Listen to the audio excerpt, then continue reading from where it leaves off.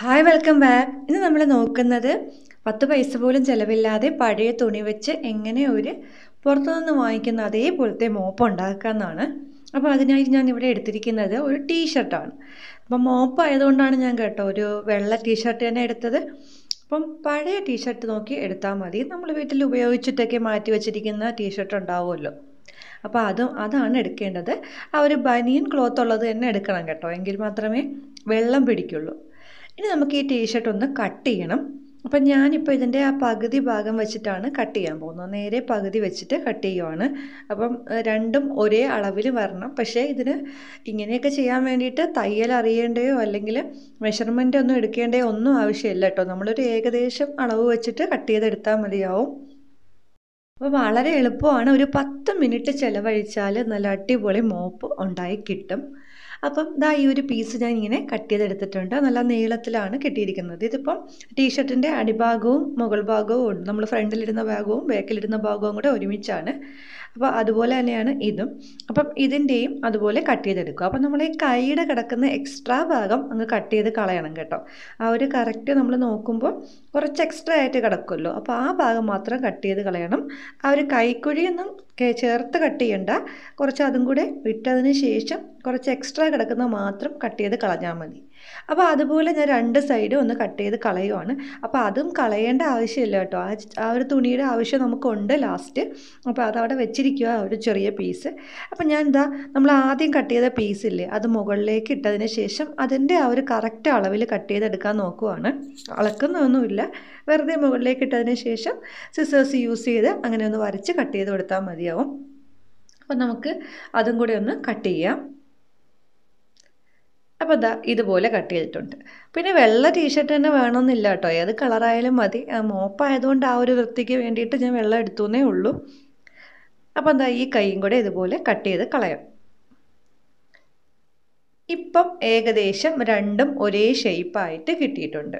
ഇപ്പം നല്ല വെള്ളം പിടിക്കുന്ന ഒരു സോഫ്റ്റ് ആയിട്ടുള്ള തുണിയാണ്. പിന്നെ ഇതിന് പകരം എന്താ ഈ ഒരു കട്ട് ചെയ്ത പീസില്ലേ അത് അത് മാറ്റി വെക്കണം. ഞാൻ നേരത്തെ പറഞ്ഞല്ലോ അതിന് ആവശ്യമുണ്ടെന്ന്. പിന്നെ നമുക്ക് വേണമെന്നുണ്ടെങ്കിൽ നമ്മൾ ബനിയന് വേണ്ടി ഉപയോഗിക്കുന്ന വെള്ള തുണി ഉണ്ടല്ലോ അത് ഉപയോഗിക്കാം കേട്ടോ. അപ്പോൾ ഞാൻ തിരിച്ചിട്ട സമയത്ത് ആ ഒരു സൈഡിലുള്ള ആ കഴുത്തിന്റെ ഭാഗം കട്ടിയായിട്ടുള്ളതുണ്ടായിരുന്നു. അപ്പോൾ അതും കൂടി ഞാൻ അങ്ങ് കട്ട് ചെയ്ത് കളഞ്ഞിട്ടുണ്ട്. അപ്പോൾ ഇപ്പോൾ രണ്ടും ഒരേ ഷേപ്പിലുള്ള ഒരു തുണിയാണ് കിട്ടിയിരിക്കുന്നത്. ഇനി നമുക്കിത് കട്ട് ചെയ്ത് ചെറിയ പീസ് ആക്കണം. അപ്പോൾ നമ്മളിങ്ങനെ നീളത്തിൽ വേണം കട്ട് ചെയ്യാൻ വേണ്ടിയിട്ട്. അപ്പോൾ ഞാൻ കാണിച്ചു തരാം എങ്ങനെയാണെന്ന്. ദാ ഇതുപോലെ. രണ്ടും കൂടെ ഒരുമിച്ച് പിടിച്ച് വേണമെങ്കിലും ചെയ്യാം. സെപ്പറേറ്റ് വെച്ച് വേണമെങ്കിലും ചെയ്യാം. ദാ ഇതുപോലെ ഇങ്ങനെ ചെറിയ ചെറിയ വള്ളികൾ പോലെ കട്ട് ചെയ്യണം. കട്ട് ചെയ്യുന്ന സമയത്ത് ഫുൾ അങ്ങ് കട്ട് ചെയ്യരുത് കേട്ടോ. ഒരു രണ്ട് ഇഞ്ച് വീതിക്ക് വിട്ടിട്ട് വേണം കട്ട് ചെയ്യാൻ. രണ്ട് ഇഞ്ച് വീതി നമുക്കത് എന്തിനാണെന്ന് ഞാൻ പറഞ്ഞു തരാം രണ്ട് ഇഞ്ച് വീതി കട്ട് ചെയ്യാൻ പാടില്ല. അതാ ഇവിടെ മുകൾ ഭാഗത്ത് രണ്ട് ഇഞ്ച് വീതി വിട്ടിട്ടുണ്ട്. ബാക്കി ഉള്ള ഭാഗം ചെറുതായിട്ടൊന്ന് കട്ട് ചെയ്ത് എടുത്താൽ മതിയാവും. ഇതാ ഇങ്ങനെ. അപ്പോൾ ഇതുപോലെ ചെറിയ ചെറിയ വള്ളികൾ പോലെ വേണം ബാക്കിയുള്ള എല്ലാ ഭാഗവും കട്ട് ചെയ്തെടുക്കാൻ. ഈ എല്ലാ ഭാഗത്തും ഒരു സൈഡിൽ രണ്ട് ഇഞ്ച് വീതിക്ക് ഇങ്ങനെ വിട്ടിരിക്കുകയും വേണം. അപ്പോൾ അതാ ഇങ്ങനെ ചെറിയ ചെറിയ അപ്പോൾ നമ്മളിത് കട്ട് ചെയ്യുന്ന സമയത്ത് കുറച്ച് ചെറുതായിട്ട് തന്നെ കട്ട് ചെയ്യാൻ ശ്രദ്ധിക്കുക കേട്ടോ. തീരെ ചെറുതാക്കണ്ട. ഒരുപാട് വീതി കൂടിയാലും കറക്റ്റ് ക്ലീനായി കിട്ടാൻ പാടായിരിക്കും. അപ്പോൾ അതാ ഇതുപോലെ ഒരു മാല പോലെയൊക്കെ ഞാനിങ്ങനെ ഫുള്ള് കട്ട് ചെയ്ത് എടുത്തിട്ടുണ്ട് ഇതാ ഇങ്ങനെ ഒന്ന് എടുത്താൽ ഇതാ ഇങ്ങനെയാണ് കിട്ടുന്നത്.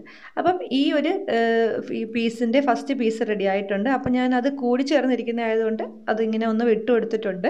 ഇപ്പം എന്താ ഒരു മാല പോലെ തന്നെ ഇങ്ങനെ കിട്ടിയിട്ടുണ്ട്. അപ്പം ഇങ്ങനെയാണ് നമ്മൾ കട്ട് ചെയ്തെടുക്കേണ്ടത്. വളരെ സിമ്പിളാണ് വളരെ വലിയ ഒരു വൃത്തിയൊന്നും വേണ്ട. പെട്ടെന്ന് അങ്ങ് കട്ട് ചെയ്തെടുത്താൽ മതിയാവും. അപ്പോൾ ഇതുപോലെ ഞാൻ എന്താ മറ്റേ പീസും ഇങ്ങനെ തന്നെ കട്ട് ചെയ്ത് എടുത്തിട്ടുണ്ട്. രണ്ട് പീസും കട്ട് ചെയ്ത് എടുത്തിട്ടുണ്ട്. പിന്നെ വേണ്ടത് നമ്മളെ പഴയ മോപ്പിന്റെ ആ ഒരു സ്റ്റിക്ക് ഉണ്ടല്ലോ അതാണ്. ആ മോപ്പ് പഴയ മോപ്പിന്റെ എടുക്കാം. അല്ലെന്നുണ്ടെങ്കിൽ തടിക്കഷ്ണം വല്ലതും ഉണ്ടെങ്കിൽ ചെറിയ ഇതുപോലത്തെ ഒരു ചെറിയ കമ്പ് എന്തെങ്കിലും ഉണ്ടെങ്കിൽ എടുക്കാം കേട്ടോ. ഇതിപ്പോൾ എന്റെ പഴയ മോപ്പിന്റെ മുകൾ ഭാഗം ഇങ്ങനെ ഇവിടെ നിന്ന് ഒടിഞ്ഞു പോയതാണ് ആ ഒരു ഭാഗം. അപ്പോൾ ഞാൻ ഈ ഒരു സ്റ്റിക്ക് മാത്രം എടുത്തു വെച്ചിട്ടുണ്ടായിരുന്നു. അപ്പോൾ ഇങ്ങനെ എടുത്ത് വെക്കുവാണെങ്കിൽ നമുക്ക് ഈസി ആയിട്ട് ഉപയോഗിക്കാം. ഇതിനിപ്പം വേറെ ചിലവൊന്നും ഇല്ലല്ലോ.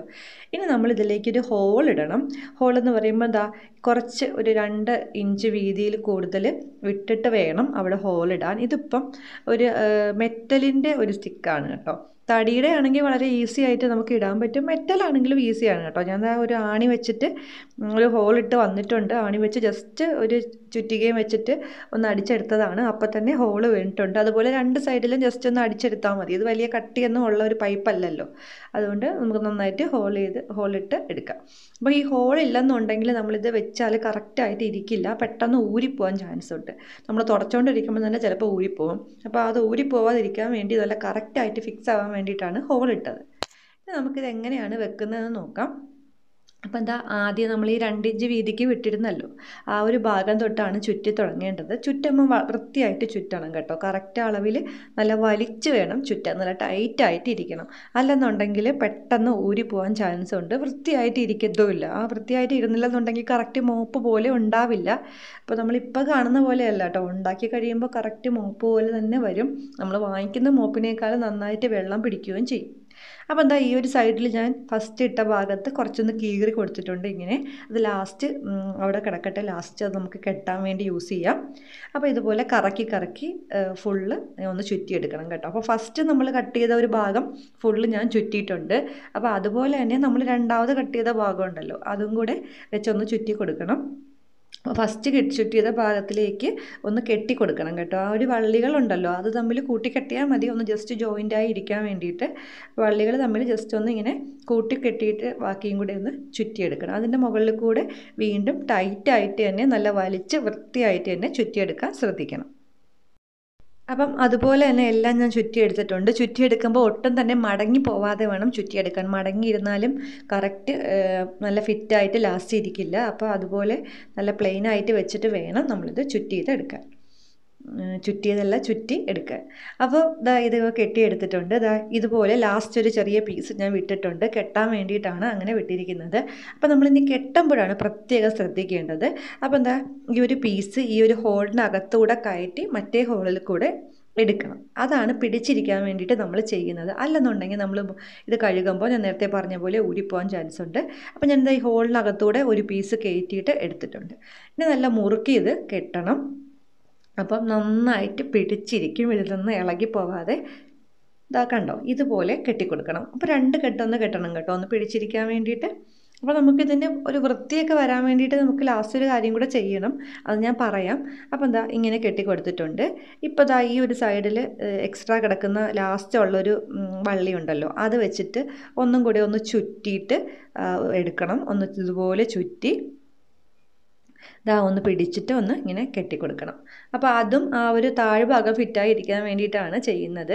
അപ്പോൾ എന്താ ഇതിപ്പോൾ ഒന്ന് കുരുങ്ങിയൊക്കെ ഇരിക്കുവാണ്. ഈ കുരുക്കൊക്കെ ജസ്റ്റ് ഒന്ന് എടുത്ത് നമ്മൾ ഈ മുടിയൊക്കെ ചിക്കി കൊടുക്കുന്ന പോലെ കുരുക്കെടുത്തൊന്ന് എടുക്കണം കേട്ടോ. അത് കറക്റ്റാക്കി എടുക്കാൻ നമ്മൾ ചുറ്റിയ സമയത്ത് ഇങ്ങനെ ഒന്ന് കുരുങ്ങിപ്പോയതാണ്.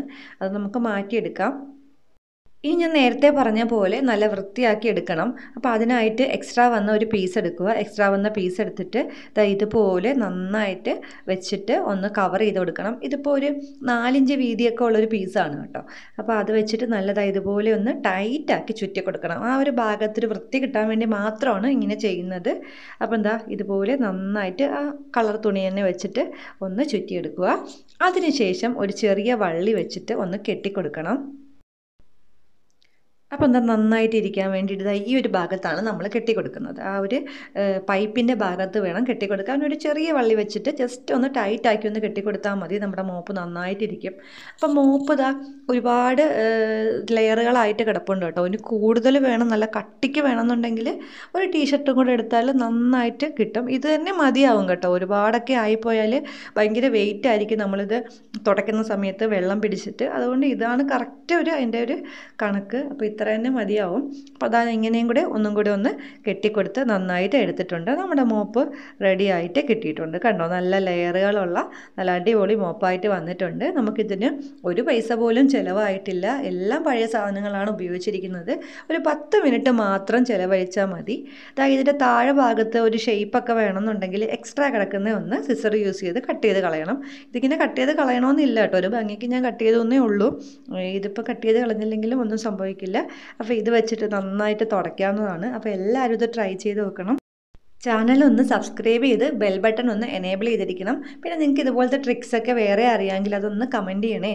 അതുപോലെ തന്നെ വീഡിയോ കാണുന്ന സമയത്ത് വീഡിയോ ഒന്ന് ലൈക്കും കൂടെ ചെയ്യാൻ മറക്കരുത്. താങ്ക്